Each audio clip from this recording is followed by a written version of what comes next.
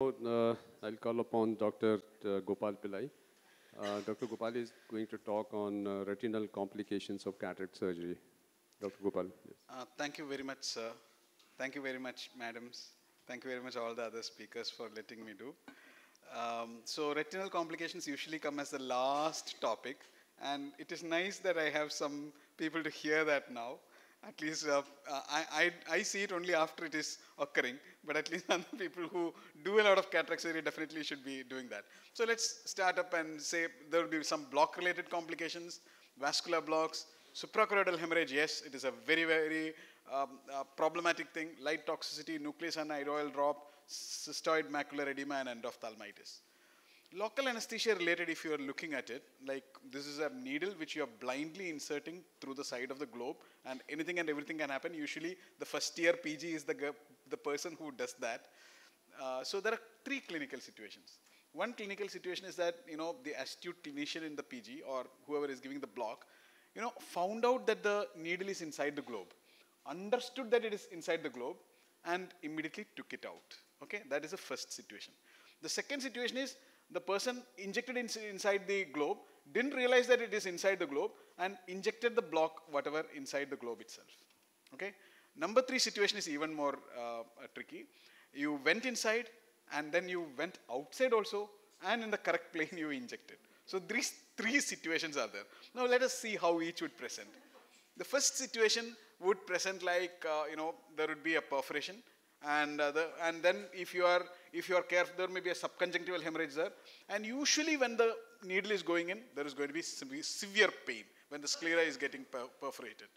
Now the second situation is a little troublesome because if you inject the block, whatever it is, inside the eye, then the pressure will immediately shoot up and the cornea will become steamy white. Immediately there will be corneal edema which will be coming in and the patient will have intense severe pain and the cornea will become immediately white. Number three, nobody knows. I mean, neither the person who gave the block, neither the patient nor the surgeon will know, and the surgeon will complete the phaco. And post-operatively, I mean, intraoperatively, if you give a uh, massage or something like that, there can be a hypotony. But otherwise, you will not even know and you may consider doing the surgery. Go ahead and after that, finally, you may end up with a retinal detachment later or a vitreous hemorrhage later. These are the three situations. Now, this after perforation, pre-retinal blood and vitreous hemorrhage was there in this particular case with a retinal localized retinal detachment was there. And we did a vitrectomy with fluid air exchange and silicone oil. So this is a very, very good prognosis. Immediately, if you do, yes, if there is a percolating subretinal hemorrhage which has moved into the macula or something like that, yes, then there is a bad prognosis. Otherwise, this is very, very good prognosis. Now, this is a patient in whom there was this lid uh, damage, okay, and somebody gave a little local anesthesia there, but because the there is a little bit of scarring, the needle inadvertently because the force went inside and went inside. Now, this is a telltale sign. You can see this. This air bubble is a telltale sign that you have actually uh, perforated because you can have air bubble inside the eye only after perforation, right? Now this patient came to me with complete loss of vision to almost PL. And when I looked at it, the optic nerve was slightly pale. Uh, and uh, I mean, there was nothing much, like 57 seconds was the, uh, you know, this was the uh, uh, arterial and venous filling. So there was no central retinal artery occlusion. There was no significant optic nerve damage. So I was like, patient's vision is PL. Probably it's like because the pressure that uh, the patient was injected with that block inside the globe. So probably that pressure uh, caused a functional optic nerve damage. And 24 hours down the line, I had given IV methylprednisolone actually. And uh, uh, uh 24 hours down the line, this patient improved to 6 by 6. Now, if there is a break, now what should we do if there is a perforation? Definitely you should do an indirect ophthalmoscopy. That's a natural next thing. So if you do uh, do an indirect ophthalmoscopy, and if there is a uh, tear which is found and if you have a possibility of doing a cryo or laser then and there, that's, you can seal the deal there. If VR support is not available, and then conservative uh, um, treatment, you can basically slowly refer the patient. But I don't think, unless the cataract is very hard and the visibility to the retina is absolutely not there, I think we should defer the surgery of that particular patient. So uh, steroid antibiotic cycloplegic can probably refer to a VR surgeon. Now this is again another patient who had been operated for LASIK, high myopic patient. This is a patient like the third situation. This patient came with a late a retinal detachment. Probably there was a perforation in, perforation out, and the surgeon did not know, neither the uh, person who gave the block knew. And there is a late onset retinal detachment, and uh, we had operated, and finally visual, visual acuity was very good. Now, whenever the pressure inside the eye increases, especially in optic nerves which are quite labile as in advanced glaucoma, or sometimes in diabetic discs, there could be, or if there is a retrobulbar hemorrhage, or if you massage too much, or you apply a balloon or a pinky or something like that, then you may have a central retinal artery occlusion or a venous occlusion in those patients. Now, you know, central retinal vein occlusion and uh, BRVOs, all of them, usually you have to find out how much is the edema and generally consider injection, etc.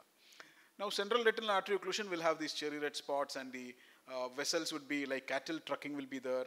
So, these uh, signify that there was a very, very high pressure during uh, surgery. All right.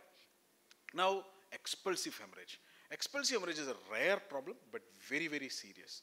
And uh, less seen now with the smaller incisions and the phaco incisions that we have. It is very, very less seen. Sudden increase of IOP will be there. And there will be darkening of the glow and wound gape and iris prolapse with expulsion. And close wound immediately with digital pressure or sutures is what is to be done. Sometimes you can do a posterior sclerotomy and allow the escape of the suprachoroidal blood. Light toxicity sometimes occurs if you are if you are a novice surgeon studying a new technique, taking more time. Then uh, generally this light toxicity will come. There may be some cystoid macular edema or RP burn which will be there. Choroidal detachment, if there is a hypotony post-operatively, if there is a wound leak post-operatively, could be a choroidal detachment which can come up, come up and then that will induce more hypotony and hypotony will induce choroidal detachment and that vicious cycle may go on. To break it, probably you will have to increase the uh, uh, steroid dosage and uh, do that. Okay, now this is a choroidal detachment ischemic optic neuropathy. Sometimes what happens in phaco, people keep bottle very high and in susceptible optic discs, you can have an intraoperative AION.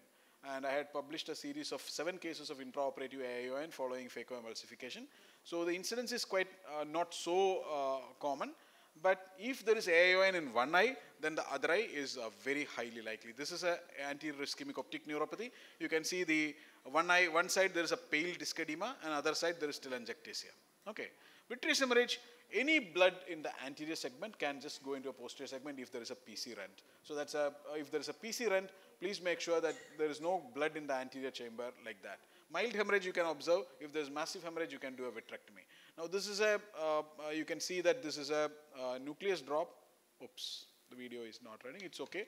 Nucleus drop is managed by, uh, generally I would ask all my friends to put up uh, lens immediately even after the nucleus drop is there, clean the anterior segment up, put a lens on because generally if you want a uh, multi-piece IOL, uh, three-piece IOL on the on the sulcus, and uh, generally now 23 gauge phaco-fragmenters are available. Call your vitreoretinal friend. Please have a vitreoretinal friend. Okay.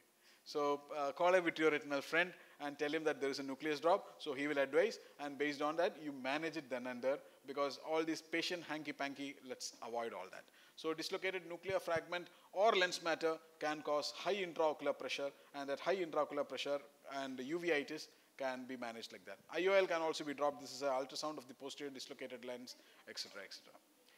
Cystoid macular please edema usually occurs later. Yeah, let's stop. No, please wind up. Okay. So cystoid macular edema and uh, endophthalmitis. These are two terrible complications. Uh, cystoid macular edema is still all right. You can manage with NSAIDs and then posterior subtenon. Endophthalmitis has to be managed as early as possible with an intravitreal injection or if the vision drops with vitrectomy. Thank you very much. Thank, Thank you. yeah.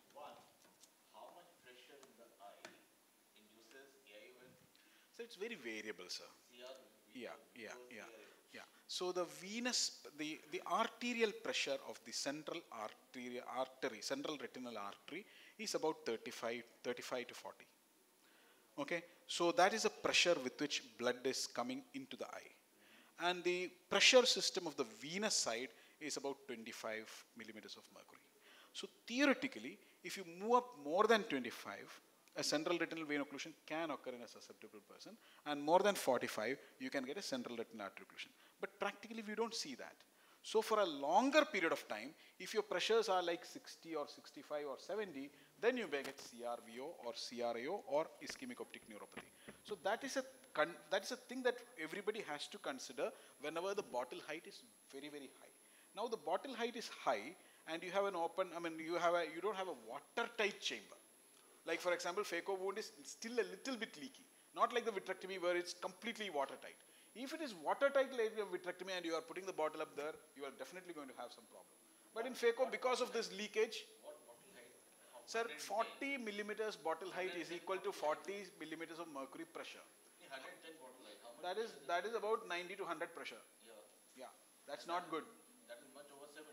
Yeah, that is not good. And most of the surgeons put it at that. But that that is why I'm telling, sir, there will be some wound leak.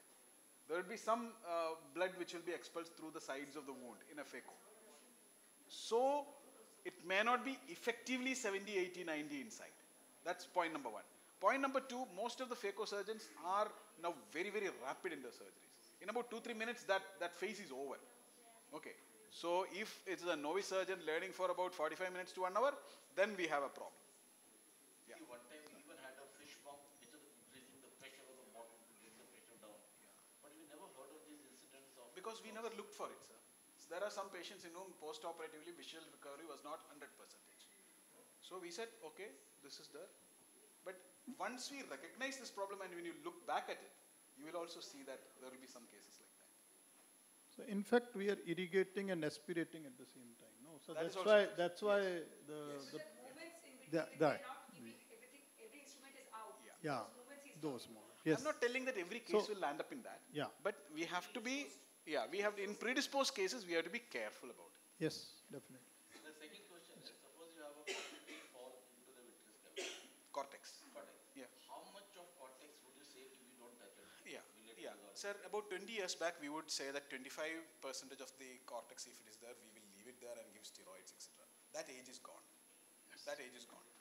Cortex inside will cause cystoid macular edema, will cause uveitis, will cause increase in intraocular pressure. Should be removed. Any move. Agree. Any amount. And same for the nucleus. Any piece. Absolutely, because nucleus will induce I- IOP rise very, very high. Now, it's like, now because we have transformed from the 6 by 18 cataract surgery, 6 by 36 cataract surgery to 6 by 6, 6 by 6 parts cataract surgery, sir. So we can't leave cortex in the vitreous. A small flake floats down in front of you through that gap. And you think such a small flake it's a, it's a surgeon's philosophy, sir. So because let's let's think that this flake went down and dissolved, nothing happened. It's okay. But now uh, I'm not telling that this small flake or speck, if it induces a cystoid macular edema tomorrow, then you'll have to do it, no? No, but at the moment the surgeon has to take a decision. Do I call a vitreous, vitreous guy in or should I let it be? It's a small flake. Uh, the small flake that most of the cataract surgeons tell me, finally when I take out, ends up to be a very large flake. That also is a major problem. All right. So a small nucleus bit, about 50% of the nucleus will be inside. No, no, that, that- any nucleus a small flake, actually a small Yeah, flake. cortex. I actually got cortex. these strongly about cortex. And it just in front of your eye, it is just lift away and floated down. Not you Maybe, okay sir, for bargaining sake I will say that it is okay. It's okay then, let it be. No, I think uh, the uh, Let us see the patient post-operatively. Will you tell the patient that the small nucleus, I mean cortex flake is down? Will you tell the But the cortex, where if you if you When he of floaters and something. No, will you tell the patient? no, I think uh, Sanjay. no? The important thing is like You uh, will not tell the patient. eh? And then if the patient comes back with floaters or cystoid macular edema, how are you going to talk to the patient? Something that probably something has moved down and you call it rectus. That is going to be a lie, right? going to be tricky. Yeah, I, that's all. Uh, Sanjay, I think uh, it depends on whether you have uh, the fragment is the nucleus or the cortex. Cortex generally, because if you are left with the small uh, fleck of the cortex, it is get absorbed in a three to four days. I don't think there is any time to induce CME. But if it is a nuclear piece, it remains for a longer time. Then there is always a chances So of the having the quantity of the cortex is all important, sir. Quanti- the small fleck we are talking. yeah, if it's a small Yeah. then I don't think there should be much Okay, problem. Thank you very much. Thank you, uh, Dr. Gopal, Thank you for the nice